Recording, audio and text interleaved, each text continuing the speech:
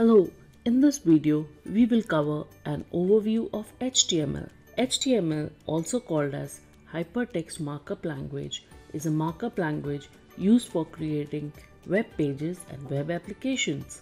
Let's understand what is hypertext and what is a markup language. Hypertext over here means text within text. Text which has a link within it is a hypertext. That means if you click it, it takes you elsewhere. HTML is very easy and simple language. It facilitates the programmer to add graphics, video, sound to the web pages which makes it more attractive and interactive. As it is a markup language, it provides a flexible way to design web pages. It specifies code for formatting both the layout and style within a text file. It uses human readable tags to define elements in a text file rather than typical programming syntax. This also makes it platform independent because it can be displayed on any platform like Windows, Linux, Mac, etc. Let's understand what is a tag. HTML tag begin with a less than character and end with a greater than character. A start tag has name inside angle brackets.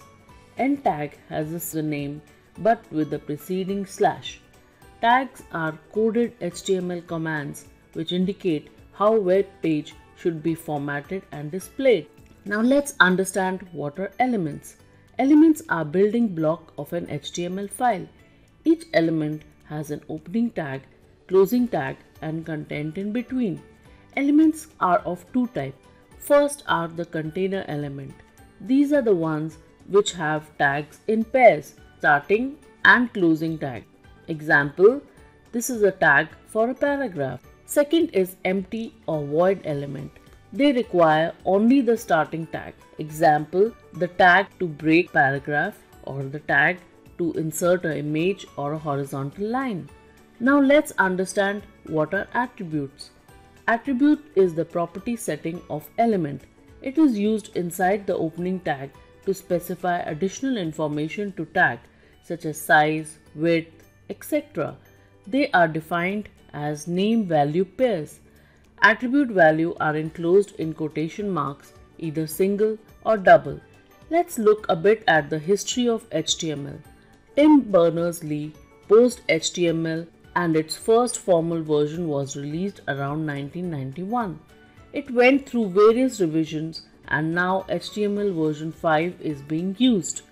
In this course, we will study some features of earlier version as well as they are still supported by current browsers. Some common HTML editors are Notepad or Notepad++, Eclipse, Coffee Cup or Visual Studio.